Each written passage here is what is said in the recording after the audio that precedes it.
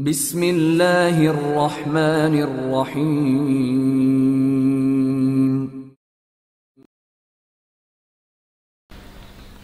नावा शिंगू, इमरान सीरीज़ मुसन्फ़ Mazhar Kaleem M A Imran गहरी नींद सोया हुआ था, लेकिन फिर अचानक इसकी आँख एक झटके से खुल गई। यूँ लगता था जैसे इसके जहन में अचानक रोशनी का कोई खाना कैमरे की शटर की तरह खुल गया हो। यह इसकी मखसूस जहनी वर्जिशों का नतीजा था कि इसका जहन किसी भी वजह से, चाहे किसी दवा या गैस या सिर्फ़ आसाबी थकावट की वजह से तारीख हो रहा हो तो इसके खिलाफ जहनी जिद्दोजहद किसी न किसी तरह खुद ब खुद जारी रहती है। चाहे इसकी रफ्तार कितनी ही सुस्त क्यों ना हो आमतौर पर वो इंतहाई होशियार नींद सोने का आदि था कि हल्की सी मामूल के खिलाफ कोई आवाज़ या हरकत इसके जहन को बेदार कर देती थी। लेकिन अगर इसको बेहोश कर दिया जाए तब भी इसका जहन बेदार होने की कोशिश करता रहता था। और इस तरह अचानक एक झटके से इसकी आँखें खुल जाने के पीछे भी इसकी इस जहनी कुत का हाथ था। तजर्बे ने इमरान को इस मामले में तफरीक करना सिखा दिया था।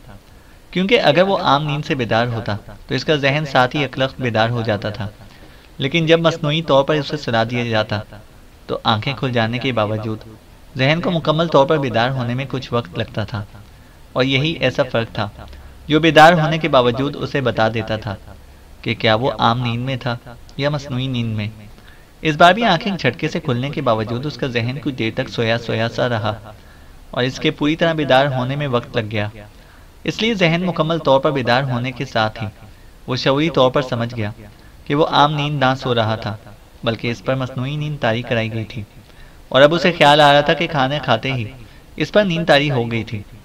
और इसने यही सोचा था कि क्रैश लैंडिंग की वजह से शायद इसके आसाब पर गैर मामूली दबाव पड़ा था, इसलिए उसे गहरी नींद आ रही थी।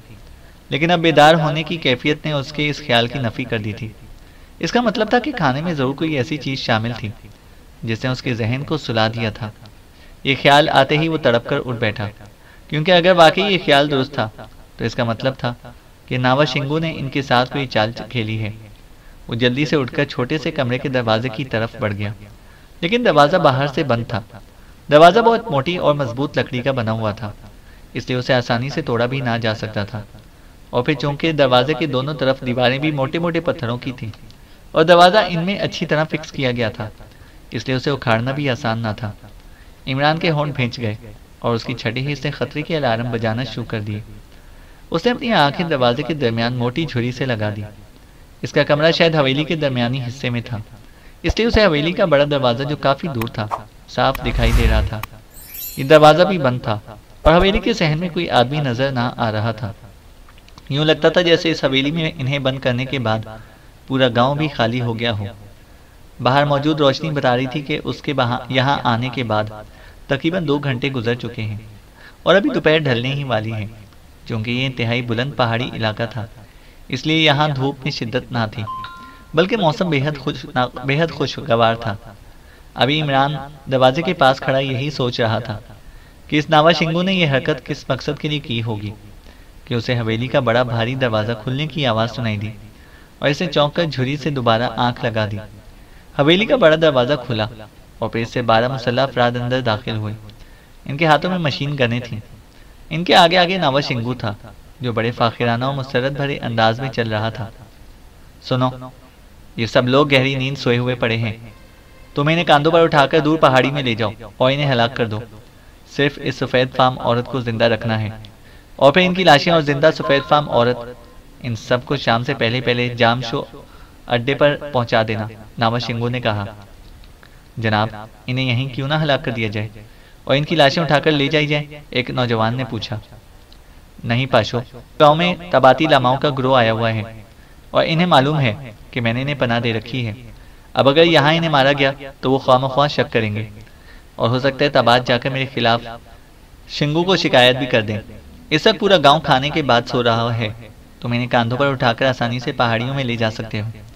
किसी को मालूम ना होगा। और इन्हें दूर ले जाकर मार देना, जहाँ से गोलियों की आवाज़ें गाँव तक ना पहुँच सकें। मैं इन्हें बाद में कह दूँगा कि वो लोग तीन दिन पूरा करने की बजाय खाना खाकर चले गए हैं। और चूँकि मैं नावा शिंगू हूँ इसलिए शर्पा कबाइल मेरी बात पर यकीन करने के पाबंद हैं। बहरहाल, जल्दी करो। और इन्हें उठाकर ले जाओ। और सुनो पाशो, मैं यहाँ कुछ देर ठहकर जाम शो गाँव जाऊँगा। लेकिन मेरे पहुँचने से पहले सफ़ेद फार्म औरत ज़िंदा और बाकी अफराद की लाशें वहाँ पहुँच जानी चाहिए लेकिन वहाँ सिवाय तुम्हारे और कोई ना जाएगा। तुम आगोश के अस्तबल से घोड़े ले लेना और इन लाशों और सफ़ेद फार्म औरत को इन पर डालकर आगे जाना। बाकी को वापस भिजवा देना। नावाशिंगू ने इस नौजवान को पूरी तफसीली हिदायत देते हुए कहा, ठीक है, जनाब। इस नौजवान ने जवाब दिया और फिर वो अपने साथियों को इशारा करके इन कमरों की तरफ़ बढ़ने लगा। इमरान सा हिलाता हुआ वापस मुड़ा और आकर फर्श पर इसी तरह लेट गया, जैसे अभी तक गहरी नींद सोया हुआ हो, क्योंकि मूर्ति से वो शेरपा की जबान सीख चुका था। इसलिए इनके दरमियान होने वाली सारी बातें वो अच्छी तरह समझ गया था। इसने एक फैसला कर लिया और इस फैसले के तहत वो आगे बढ़ना चाहता था। चंद लम्हों बाद इसके कमरे का दरवाज़ा खुला और इमरान ने पलकों में रखी हुई मामूली सी झुरी से एक कवि हैकल नौजवान को अंदर दाखिल होते देखा। वो तेज़ी से इमरान की तरफ़ बढ़ा। इमरान ने वो झुरी भी बंद कर ली और साथ ही अपने जिसम को भी ढीला छोड़ दिया। इस नौजवान ने झुककर इमरान को उठाया और एक झटके से उसे अपने कांधे पर डाल लिया और वापस दरवाजे की तरफ़ मुड़ गया। जब इमरान इस कमरे से बाहर आया तो इसने देखा कि इसके साथी भी इसकी तरह बेहोशी के आलम में दूसरे, दूसरों के कांधों पर लदे हुए हैं। सिर्फ़ जोसेफ और जवाना को दो दो आदमियों ने मिलकर उठाया हुआ था। और इमरान को यह देखकर खासा इतमान हो गया कि इनके मखसूस बैग जो जोसेफ और जवाना ने अपनी पुश्त पर लादे हुए थे, अब इन लोगों की पुश्त से बंधे हुए थे। नावा शिंगू वहाँ मौजूद ना था। वो शायद हिदायत देने के बाद वापस चला गया था। और यकीनन ये बैग इन लोगों ने इसलिए उठा लिए होंगे कि नावा शिंगू ने इनके बारे में इन्हें कोई हिदायत ना दी होंगी, कि उसे वहीं छोड़ दिया जाए या साथ रख जाए। लेकिन इसका मतलब था कि पाशो खासा जहीन नौजवान था। इसने ये थैले साथ उठाने के लिए इसलिए कह दिया होगा कि गाँव वालों को बताया जा सके कि वो लोग वाकई चले गए हैं। वरना अगर इनका सामान यहीं रह जाता तो गाँव वाले शक में पड़ सकते थे। बहरहाल, इन्हें हवेली से बाहर लाया गया तो इमरान ने देखा कि आते वक्त खास, वहाँ खासे लोग मौजूद थे। लेकिन इस वक्त सारा इलाका इस तरह सुनसान पड़ा हुआ था कि जैसे यहाँ गाँव में कोई जानदार रहता ही ना हो। शायद ये भी इनका कोई रिवाज था। कि वो दोपहर के वक्त कुछ देर घरों में ठहरे ठहरे रहते थे। थोड़ी देर बाद वो गाँव की हदूद से निकलकर पहाड़ियों में दाखिल हो गए और फिर इसी तरह वो आगे बढ़ते चले गए। इनकी रफ्तार बेहद तेज थी। हालाँकि उन्होंने वज़न भी उठाया हुआ था। पहाड़ी वजनों में से गुजरते हुए और ऊँची नीची चटाने फैलांगते हुए वो जब काफ़ी दूर निकल आए तो पाशो ने इन्हें ज़मीन पर रखने का हुक्म दिया और इमरान समेत सब साथियों को ज़मीन पर लिटा दिया गया। इसके सारे साथी भी बेहोश पड़े हुए थे। इस सफ़ेद फार्म औरत को उठाकर एक तरफ़ लिटा दो और बाकी सबको गोलियों से भून डालो। जब इनके जिस्मों से खून बहना बंद हो जाए तो फिर इनकी लाशें उठाकर आगोश के स्तबल तक लेकर जाना होंगी। पाशो ने जो एक तरफ़ खड़ा था, ने अपने साथियों को हिदायत देते हुए कहा और अब इमरान ने हरकत में आ जाने का फैसला कर लिया। क्योंकि इनकी तलाशी ना ली गई थी, इसलिए इमरान की जेब में मशीन पिस्टल अभी तक मौजूद था। इमरान ने भारी असलाहा इसलिए साथ ना रखा था ताकि गाँव वालों को शक ना पड़ जाए, लेकिन मशीन पिस्टल सब साथियों के पास मौजूद थे। इमरान चूँकि ज़रा एक तरफ़ पड़ा था, इसलिए इसे तेज़ी से अपना एक हाथ उठाकर जेब में डाला और दूसरे लम्हे मशीन पिस्टल इसके हाथों में था। इस दौरान चूँकि जूलिया को उठाकर एक तरफ़ रखा जा रहा था, इसलिए वो सब मशीन गने हाथों में पकड़े खामोश खड़े थे। इमरान ने हाथ ऊँचा किया और दूसरे लम्हे मुसलसल और खौफनाक धमाकों के साथ ही पाशों के साथियों के हलक से जोरदार चीखें निकली और वो सब इस तरह ज़मीन पर टेढ़े मेढ़े होकर गिरे, जैसे जहरीली दवा के छिड़काव से। ज़रा रसा कीड़े नीचे गिरते हैं। पाशु चौंके इनका लीडर था इसलिए इसे मशीन गन कांधे से ना उतारी थी। इसके साथियों पर फायरिंग करते ही इमरान ज़मीन में से इस तरह उछला। जैसे इसके जिसम में हड्डियों की जगह स्प्रिंग फिट हो और पलक झपकने में इसने पाशो की कनपट्टी पर पिस्टल, मशीन पिस्टल का दस्ता पूरी कुत से मारा और पाशो चीखता हुआ ज़मीन पर ही गिरा कि इमरान की लात हरकत में आई और नीचे गिरकर उठने की कोशिश करते हुए पाशो की कनपट्टी पर बूट की जोरदार जब पड़ी और पाशो दूसरे लम्हे बेहसो हरकत हो गया। इमरान तेज़ी से मुड़ा। उसे खतरा था कि कहीं कोई जख्मी इस पर फायर ना खोल दे। लेकिन दूसरे लम्हे इसके हलक से एक तवील सांस निकल गई। क्योंकि सारे ही लोग साकित पड़े थे। इमरान ने कोशिश की थी कि गोलियाँ इनमें से हर एक के जिसम के ऐसे हिस्सों पर लगें जो फौरी तौर पर कारी साबित हो सकें। क्योंकि इसके पास वक्त ना था और इसकी कोशिश कामयाब रही थी। इमरान वापस मुड़ा और इसे पाशो की नब्ज पकड़कर उसे चेक किया। नब्ज बता रही थी कि पाशो कम अज कम आधा घंटा ज़रूर बेहोश रहेगा। ये नौजवान पहाड़ी होने की वजह से खासे मज़बूत जिसम का मालिक था। इसलिए इमरान ने अपने साथियों को होश में लाने से पहले उसे चेक करना ज़रूरी समझा था और जिस कुत से पाशो की कनपट्टी पर जरब लगी थी। इस लिहाज से तो किसी आम आदमी को कम अज कम चार पाँच घंटे बेहोश रहना चाहिए था। लेकिन पाशो, चूँकि मज़बूत जिसम का आदमी था, इसलिए इसकी नब्ज बता रही थी कि वो आधे घंटे बाद ही होश में आ जाएगा। लेकिन इमरान के लिए ज़ाहिर है कि इतना ही वक्त काफ़ी था। चुनाचा पाशो की तरफ़ से तसली हो जाने के बाद वो सफदर की तरफ़ पढ़ा इसे झुककर दोनों हाथों से उसका मुँह और नाक बंद कर दिया चंद दमों बाद ही सफदर के जिसम में हरकत पैदा होने लगी और इमरान ने हाथ हटा दिया इसके बाद वो सफदर के पास पड़े हुए कैप्टन शकील की तरफ़ बढ़ गया। इसने इसके साथ भी यही अमल दोहराया। उसी लम्हे सफदर उठकर बैठ गया। वो हैरत से इधर उधर देख रहा था। इमरान साहब, ये सब क्या है? सफदर के लहजे में बेपना हैरत थी। वो एक झटके से उठ खड़ा हुआ। यह है तो मुजब्बा खाना। अभी और बात है कि जबा करने के लिए हमें लाया गया था। लेकिन जबा ये खुद हो गए। इमरान ने मुस्कुराते हुए कहा उसी लम्हे कैप्टन शकील भी उठ खड़ा हुआ। उसकी आँखों में भी हैरत के आसार थे। तुम बाकी साथियों को होश में लाओ मैं जरा इस पाशो से दो दो बातें कर लूँ। इमरान ने कहा और वापस इस तरफ़ को बढ़ गया जिधर पाशो बेहोश पड़ा हुआ था। इमरान ने अपनी बेल्ट खोली और पाश, पहले पाशो के दोनों हाथ उसकी पुष्ट पर करके उसने इन्हें अच्छी तरह बाँध दिया। इसके बाद इसे पाशो को उठाकर एक उभरी हुई चट्टान ऊँची चट्टान के साथ इस तरह बिठा दिया कि पाशो की पुष्ट इस चट्टान के साथ जुड़ी हुई थी। पाशो चौंकी बेहोश था इसलिए वो बैठने की बजाय इधर उधर लुढ़क रहा था। लेकिन इमरान ने एक हाथ इसके कांधे पर रखा और दूसरे हाथ से जोरदार थप्पड़ इसके चेहरे पर रसीद कर दिया। पहले के बाद दूसरे थप्पड़ की नौबत ही ना आई और पाशो की आँखें एक झटके से खुल गईं। इमरान इसका कांधा छोड़कर हटकर खड़ा हो गया। इसे जेब से मशीन पिस्टल निकाल लिया। पाशो ने कराहते हुए आँखें खोली और फिर इसे एक लम्हे तक तो खाली खाली आँखों से इधर उधर देखा। दूसरे लम्हे से एक झटके से उठने की कोशिश की, लेकिन पुष्ट पर हाथ बंधे होने की वजह से वो लुड़खड़ा कर गिर गया। इतमान से बैठ जाओ पाशो। अभी तुमसे काफ़ी बातें होनी हैं। इमरान ने मशीन पिस्टल को उंगली में घुमाते हुए बड़े मुतमिन लहजे में कहा, ओह ओह, तुम हमारी जबान जानते हो अजनबी? पाशो के लहजे में बेपना हैरत थी। ज़ाहिर है बगैर जाने तो इस जबान में बात नहीं कर सकता। सुनो मुझे भी मालूम है कि नावा शिंगो पामो ने तुम्हें हिदायत दी, दी थी कि हमें कमरों में से उठाकर यहाँ पर लाया जाए और फिर सफ़ेद फार्म औरत के अलावा बाकी सबको गोली मारकर हलाक कर दिया जाए। इसके बाद हमें आगोश के कबीले के अस्तबल में पहुँचा दिया जाए जहाँ से तुम हमें घोड़ों पर डालकर जामशो के अड्डे तक लेकर जाना था। लेकिन देख लो कि इस वक्त तुम्हारे सारे साथी लाशों में तब्दील हो चुके हैं और रह गए तुम। तो इस पिस्टल की एक गोली तुम्हें भी इन लोगों में शामिल कर सकती है। लेकिन अगर तुम मुझे मेरे सवालों का सही सही जवाब दे दो तो हम तुम्हें ज़िंदा छोड़कर चले जाएँगे। बाद में तुम इस नावा शिंगू से जो मर्ज़ी आए कहते रहना, इमरान ने इंतहाई संजीदा लहजे में कहा। तुम कहाँ जाओगे? गाँव में? पाशो ने होठ चबाते हुए पूछा। हमें क्या ज़रूरत है गाँव में जाने की? और यहाँ सारी उम्र रहने के लिए तो हम नहीं आए ना? हमारा जहाज़ तबाह हो गया था। इसलिए मजबूरन हमें नावा शिंगू की पनाह लेनी पड़ी। लेकिन अब हम यहीं से पैदल ताबाद की तरफ़ बढ़ जाएँगे। हमें मालूम है कि तबाद का बड़ा शहर करकूत यहाँ से बहुत दूर है। लेकिन मरने से तो बेहतर है कि हम इस तरफ़ को चल पड़े, इमरान ने मुँह बनाते हुए कहा। और पाशो की आँखों में यकलख चमक सी लहराई और इमरान मुस्कुरा दिया, क्योंकि वो इस चमक की वजह अच्छी तरह समझता था और इसलिए इसने ये बात की थी। उसे मालूम था कि जब वो ये बात करेगा तो लाजम पाशो के जहन में यही ख्याल आएगा कि एक बार इसकी जान बच जाए। बाद में इन्हें वो अपने साथियों समेत किसी भी जगह घेर कर मार सकता है। इस तरह लाजमन वो अपनी जान बचाने के लिए वो सब कुछ बता देगा, जो वो जानता होगा।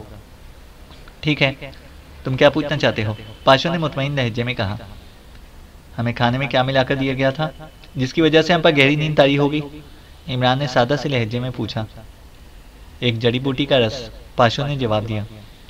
क्यों? इमरान ने पूछा, इसलिए कि नावाशिंगू इस सफ़ेद फाम औरत को हासिल कर सके। नावाशिंगू सफ़ेद फाम औरतों का दीवाना है। उसे कोई सफ़ेद फाम औरत नज़र आ जाए तो वो उसे हासिल करने के लिए पागल हो जाता है। और सारा गाँव इस बात को जानता है पाशो ने जवाब दिया।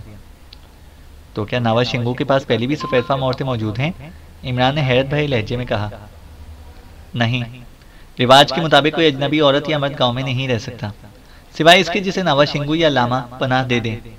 और पनाह सिर्फ़ तीन दिन तक होती है। और ये भी रिवाज है कि पनाह के दिनों में खुद नावा शिंगू भी बगैर किसी ऐसे इल्ज़ाम के, जिसे लामा भी कबूल कर सकें, पनाह वालों को हाथ भी नहीं लगा सकता पाशो ने जवाब देते हुए कहा। फिर, वो हमारी साथी सफ़ेद फाम औरत को कहाँ रखता? इमरान ने पूछा। इसे जंगल के अंदर एक खुफिया जगह बनाई हुई है। वो सफ़ेद फाम औरतों को वहाँ कैद रखता है। गाँव वाले जंगल के अंदर नहीं जा सकते। इसलिए इन्हें मालूम भी नहीं होता। और जब नवाज़ शिंगू चाहता है सफ़ेद फार्म औरत को हलाक करके उसे दरिंदों के सामने भेज देता है। पाशु ने जवाब दिया। तुम इस अड्डे तक गए हो कभी? इमरान ने पूछा। हाँ क्योंकि मैं नाइब नावाशिंगो हूँ, इसलिए मैं जा सकता हूँ पाशवा ने जवाब दिया। पहले भी उसने कभी सफ़ेद फार्म औरतों को वहाँ अड्डे में रखा था? इमरान ने पूछा। हाँ काफ़ी दिन पहले एक बार इसने मुझे अड्डे पर बुलाया तो मैंने वहाँ चार सफ़ेद फार्म औरतों को देखा, जो अपनी मर्ज़ी से उसके साथ रह रही थी। पाशवा ने जवाब दिया। इसका लहजा बता रहा था कि वो सब कुछ सच कह रहा है। क्या वो सफ़ेद फार्म औरतें भी हमारी तरह गाँव में पना लेने के लिए आई थी? इमरान ने पूछा। नहीं, वो कभी गाँव में ना आई थी। बस अचानक ही वो मुझे अड्डे पर नज़र आई। मैंने नावा शिंगू से पूछा भी था कि सफ़ेद फार्म औरतें कहाँ से आई हैं? तो उसने बताया था कि ये उसे जंगल में घूमती मिल गई थी। मैं जानता हूँ कि नवा शिंगू गलत कह रहा था। लेकिन चूँकि वो नावा शिंगू है, इसलिए इसकी बात चाहे गलत ही क्यों ना हो, सबको माननी पड़ती है। पाशु ने जवाब दिया, वो औरतें अभी वहाँ मौजूद हैं? इमरान ने पूछा, नहीं, वो जिस तरह अचानक नज़र आई थी, उसी तरह गायब हो गई पाशो ने जवाब दिया। इस खुफिया अड्डे का नाम जामशो है? इमरान ने पूछा। हाँ इसका नाम जामशो है पाशो ने जवाब दिया। ये कौन से जंगल में है और कहाँ है? पूरी तरह तरह तफसील बताओ, इमरान ने पूछा। वो मौत जंगल से शुरू होने से पहले है।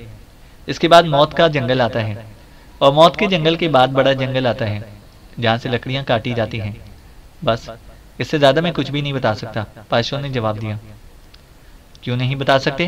तुम्हें बताना पड़ेगा। इमरान का लहजा सख्त हो गया। मैं मजबूर हूँ, क्योंकि जामशो तक भी मैं इसलिए जा सकता हूँ कि मुझे नावा शिंगू ने इजाज़त दे रखी है। लेकिन इससे आगे नहीं जा सकता। सिर्फ़ नावा शिंगू जा सकता है। मैंने एक बार नावा शिंगू से दरख्वास्त की थी कि मुझे बड़े जंगल तक जाने की इजाज़त दी जाए। ताकि मैं भी लकड़ियाँ कटवाने के लिए खंबा लोगों को वहाँ तक लेकर जा सकूँ। इस तरह मैं पक्का पक्का नावा शिंगू बन जाता। लेकिन नावा शिंगू ने बताया कि इसके बाद मौत का जंगल शुरू हो जाता है। इसलिए वहाँ खुद नावा शिंगू भी नहीं जा सकता। पाशो ने जवाब दिया। क्या मतलब? नावा शिंगू क्यों नहीं जा सकता? वो तो जंगलों का मुहाफिज है। इमरान के लहजे में हैरत थी। यही बात मैंने उससे पूछी थी। तो उसने बताया था कि जंगल में कुछ ऐसे दरिंदे आगे हैं जिनके मुँह से आग निकलती है। और जो आदमी इस जंगल में दाखिल हो, वो एक लम्हे में जलकर राख हो जाता है। लकड़ी काटने के मौसम में ये दरिंदे कहीं चले जाते हैं और फिर वापस आ जाते हैं। इसलिए वो इसे मौत का जंगल कह रहा है और इतना बताकर इसने मुझे झिड़क दिया था कि आइंदा इससे इस बारे में कुछ ना पूछूँ और अपनी जबान भी बंद रखूँ, वरना वो मुझे अपनी नाइबी से हटा देगा और मौत की सजा दे देगा। वो नहीं चाहता था कि खंबा को इस मौत के जंगल के बारे में मालूम हो। इस तरह वो लकड़ी काटने से इनकार कर देंगे। तुम्हें भी इसलिए बता रहा हूँ कि तुम अजनबी हो। पाशो ने जवाब दिया। ये रागोश स्तबल का है? इमरान ने पूछा। जंगल की सरहद पर है, पाशो ने जवाब दिया। ठीक है, अब तुम हमें वहाँ पर ले चलो। और सुनो, अगर तुमने कोई ऐसी हरकत की जिससे हमें नुकसान पहुँच सकता हो तो मैं एक लम्हे में तुम्हें गोली मार दूँगा, इमरान ने गुर्राते हुए कहा। ओह तो तुम वहाँ से घोड़े हासिल करना चाहते हो? लेकिन वो घोड़े सिर्फ़ जंगल में चलने के लिए सुधाए गए हैं। वो पहाड़ी चट्टानों पर नहीं चल सकते। पाशो ने कहा तुम चलो तो सही हम इन्हें खुद ही सुधार लेंगे। इमरान ने कहा और आगे बढ़कर वो झुका और इसे बाजू से पकड़कर पाशु को एक झटके से खड़ा कर दिया। दूसरे लम्हे इसका दूसरा हाथ घुमा और पाशु के गाल पर जोरदार थप्पड़ पड़ा। और पाशु चीखता हुआ उछलकर पहलू के बल दोबारा ज़मीन पर जा गिरा। थप्पड़ इस कदर जोरदार था कि इसके दो तीन दांत भी बाहर निकल आए थे। ये थप्पड़ से भी एक हल्का सा नमूना है। अगर तुमने कोई गलत हरकत करने की कोशिश की तो तुम्हारी एक एक हड्डी भी तोड़ी जा सकती है, इमरान ने गुर्राते हुए कहा। तुम तुम, मैं तुम्हें अस्तबल पर पहुँचा दूँगा, लेकिन मुझे कुछ ना कहो, पाशु ने उठकर खड़े होते हुए कहा। इसके चेहरे पर खौफ के तासुरात उभर आए थे। लेकिन इमरान के एक ही जोरदार थप्पड़ ने, दर हकीकत इसके चौदह तो क्या, पंद्रह सोलह तबक भी रोशन कर दिए थे। और इसे एहसास हो गया था कि ये लोग वाकई इसकी हड्डियाँ तोड़ डालेंगे। एक ही थप्पड़ ने ना सिर्फ़ इसके दांत बाहर निकाल दिए थे बल्कि इसकी नाक से मुँह नाक और मुँह से भी खून के कतरे निकलकर इसकी थोड़ी पर बहने लगे थे। हालाँकि पाशु खासा लंबा तड़ंगा और इंतहाई मज़बूत और ठोस जिसम का पहाड़ी आदमी था। और शायद ये वजह थी कि मूर्ति हैरत से कभी इमरान को देखती और कभी पाशु की इस हालत को क्योंकि सारी गुफ्तु इसके सामने हुई थी और वो शर्पा कबाइल की जबान अच्छी तरह जानती थी। इसलिए वो सारा पस मंजर समझ गई थी लेकिन ज़ाहिर है कि बाकी लोग ये जबान ना जानते थे। इसलिए इन्हें इन दोनों के दरमियान होने वाली बातों की समझ ना आई थी। पाशु, अब इनके आगे आगे चल रहा था और इमरान हाथ में मशीन पिस्टल लिए, इसके पीछे पीछे था, जबकि बाकी साथी भी इसके साथ थे। बैग जोजफ और जवाना ने दोबारा उठा लिए थे। इसके साथ साथ उन्होंने पाशु के साथियों की मशीन गनें भी उठा ली थी और इनके फालतू मैगजीन की बेल्टें भी इनके जिस्मों से उतार ली थी। ये सब क्या है? कुछ हमें भी तो बताओ। जूलिया ने आगे बढ़कर हैरत भरे अंदाज में इमरान से मुखातिब होकर कहा ये सारा चक्कर तुम्हारी वजह से चला है। सफ़ेद फार्म औरतें नवाशिंगों की मरगूब गिजा हैं। इसलिए इसने सबके खाने में बेहोशी की दवा मिला दी ताकि तुम्हें इस हालत में उठाकर जंगल में पहुँचा दिया जाए। और हम सबको यहाँ लाकर कत्ल कर दिया जाए। लेकिन तुम जानती हो कि तुम साथ हो तो फिर सब कुछ नॉर्मल हो जाता है लेकिन मैं इस कमरे में अकेला था और तुम ना जाने कहाँ थी। और हिजर फिराक के आलम में किसी का दिल खाने को चाहता है चुनाचे मैंने थोड़ा सा खाना खाया ताकि आहें भरने की कुवत जिसम में बाकी रह जाए। और अभी मैं आहें भरने की रिहर्सल ही कर रहा था कि ये लोग आ गए नावा शिंगू इनके साथ था। और ऐसे इन्हें हिदायत देना शुरू कर दी। और मैंने सुन लिया। अब ज़ाहिर है कि मैं ये कैसे बर्दाश्त कर सकता था कि पहलुए लंगूर में हूर वाला मुहावरा दुरुस्त साबित हो सके। चुनाचा मैंने आहें भरना बंद कर दी। और फिर नतीजा तुम्हारे सामने है। अब मैं इसे साथ लेकर इस नामुराद नावा शिंगू के पास जा रहा हूँ ताकि कम अज कम मुझे तो पता चले कि वो तुम्हें पकाकर खाना चाहता है या कच्चा ही बगैर डिकारे इमरान की जबान मुसलसल चल रही थी। इसमें कहीं कोई फुल स्टॉप आ ही ना रहा था। तुमसे तो बात करना ही दुनिया की सबसे बड़ी हिमाकत है। लोग कहते हैं कि औरतों की जबानें ज़्यादा चलती हैं, लेकिन तुम तो औरतों से भी ज़्यादा बोलते हो, और बोलते भी नॉनसेंस हो, जूलिया ने वसीले लहजे में कहा। अरे अरे, मैं तो इसलिए बोलता रहता हूँ कि न जाने कब तुम्हें रहम आ जाए, और फिर मेरा बोलना बंद और तुम्हारा शुरू हो जाए। कम अज कम बोलने की हसरत तो नहीं रहेगी। इमरान ने मुस्कुराते हुए जवाब दिया। रहम का क्या मतलब इमरान साहब? मैं समझी नहीं। जूलिया के साथ चलती हुई मूर्ति ने चौंक कर पूछा, समझ जाओगी। जब मंदिर में श्लोक पढ़े जाएँगे और तुम किसी बोलने वाले के गिर्द सात फेरे लगाओगी तो तुम्हें तो कम। लेकिन इस फेरों के मरकज को ज़्यादा समझ आ जाएगी। इमरान ने मुस्कुराते हुए कहा और मूर्ति खिलखिलाकर हंस पड़ी। ओह तो आपका मतलब शादी से था? मूर्ति ने हँसते हुए कहा, था नहीं, है। अभी मैं बूढ़ा नहीं हुआ। क्यों, जूलिया? कम अज कम कुछ तो हौसला ही दे दो। दिले नातवा को। इमरान ने कहा, और इस बार जूलिया भी मुस्कुरा दी। इसके चेहरे पर शफक रंग फूट पड़ी थी। तुम्हें तो बस बकवास ही करना आती है। मैं मूर्ति से ही बात कर लेती हूँ। जूलिया ने कहा, और फिर वो मूर्ति से मुखातिब होकर बोली, मूर्ति, मुझे बताओ कि इन दोनों के दरमियान क्या बातें हुई हैं? जूलिया ने मूर्ति का हाथ पकड़ते हुए कहा, और मूर्ति ने उनके दरमियान होने वाली गुफ्तगु लफ्ज बलफ दोहराना शुरू कर दी। उसके साथ साथ बाकी मेंबर्स भी गौर से उसकी बात को सुन रहे थे। उनके जहनों में तजस्सुस तो मौजूद था ही, लेकिन वो जानते थे कि अगर कुछ पूछना अपने इमरान से कुछ पूछना अपने आप को सिवाय झंझनाहट में मुबतला करने के और कुछ हासिल नहीं, क्योंकि इमरान की आदत थी कि अगर वो बताना चाहे तो सही, वरना चाहे लाख से पटक लिया जाए, सिवाय झंझलाहट के और कुछ भी हासिल नहीं हो सकता। इसलिए वो खामोश थे, लेकिन मूर्ति सब कुछ बताती गई, इससे वो सारी बात समझ गए। इसका मतलब है कि इमरान साहब के नावा शिंगुर स्याही या काफिस्तानी एजेंट है। सफदर ने आगे बढ़कर इमरान से मुखातिब होकर कहा, एजेंट हो या ना हो, बहरहाल, वो इस खेल का एक किरदार ज़रूर है। इमरान ने इस बार संजीदा लहजे में कहा, और सफदर ने इस बात में सर हिला दिया। पाशुए ने लिए हुए काफ़ी देर तक इन पहाड़ी रास्तों में चलता रहा, लेकिन फिर वो एक पहाड़ी चोटी पर पहुँचा तो उन्होंने देखा कि पहाड़ी वादी में फैला हुआ इंतहाई घना जंगल साफ़ नज़र आ रहा था। कुछ फासले पर पत्थरों का बना हुआ एक बड़ा सा अहाता भी था। जिसमें मज़बूत और छुरेरे जिसम के खच्चर नुमा घोड़ों की काफ़ी तादाद थी। इसके साथ साथ वहाँ मुसल्ला अपराध भी चलते फिरते नज़र आ रहे थे। तुम लोग यहीं रुको और इस पाशु का ख्याल रखना।